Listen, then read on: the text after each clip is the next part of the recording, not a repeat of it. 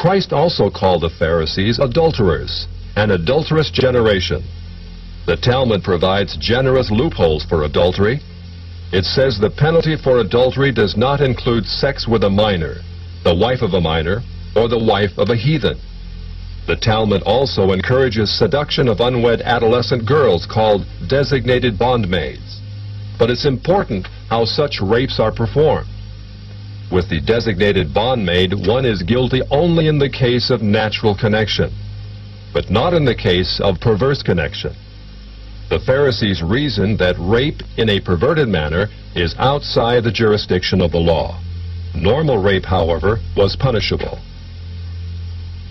In Babylon, sexual perversion of every kind had been a way of life for millenniums. The Pharisees were deeply influenced by such practices.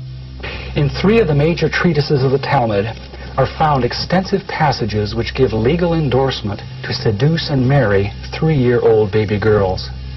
In fact, many of the greatest rabbis of the Talmud, including Simeon ben Yohai, upheld this privilege.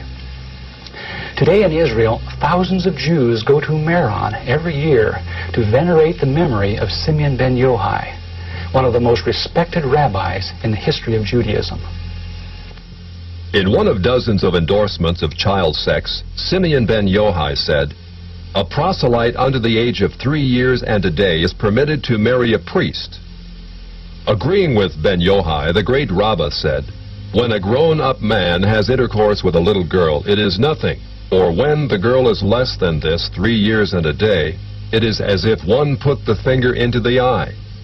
The footnote to this passage says, as tears come to the eye again and again, so does virginity come back to the little girl under three years. The same section confirms that sexual activity with small boys is in the same category. The intercourse of a small boy is not regarded as a sexual act. In addition